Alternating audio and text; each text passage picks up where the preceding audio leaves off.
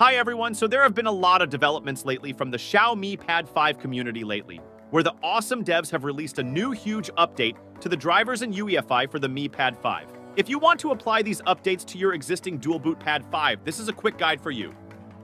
We will be releasing a separate video for the updated installation method of Windows 11 to your Mi Pad 5. Just power off the device and reboot to fast boot mode by pressing the power button and lower volume button simultaneously. Then connect the device to computer via USB cable. Of course, you need to download all these files. Download links are provided in the description box below. First thing you need to do is to extract the platform tools.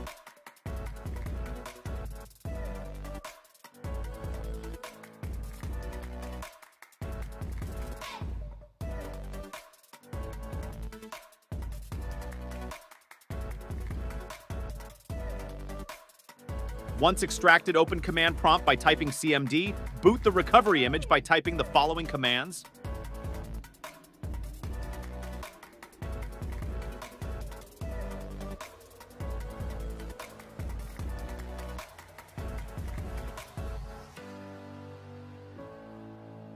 After typing the commands, your device will boot to OrangeFox Recovery, just don't touch anything. Go back to CMD screen and type ADB shell MSC.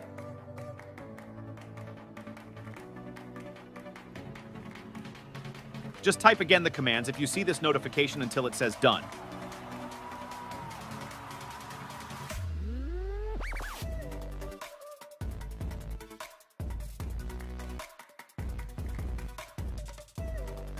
Now open DiskPart and check the volume list.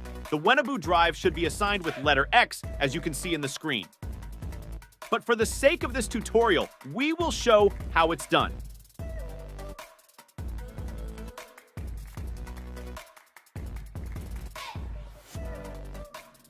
Type select volume number 4.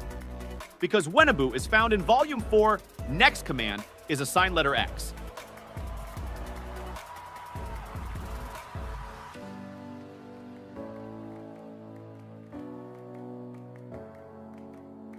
Just type exit to leave.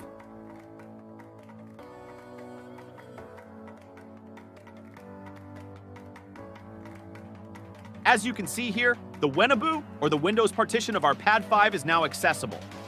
Next thing to do is to extract the drivers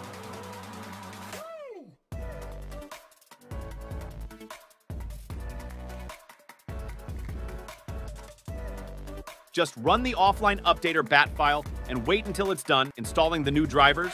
It may take some time.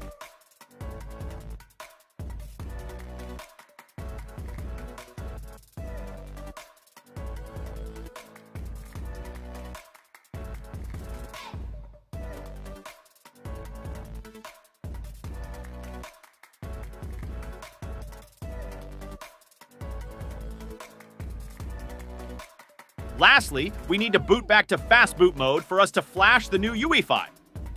Just type the following commands to boot back to fast boot.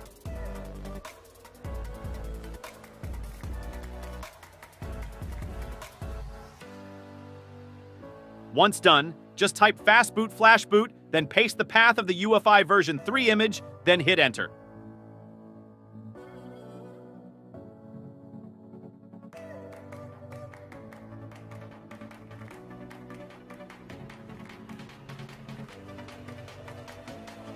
Type fastboot reboot to boot to system.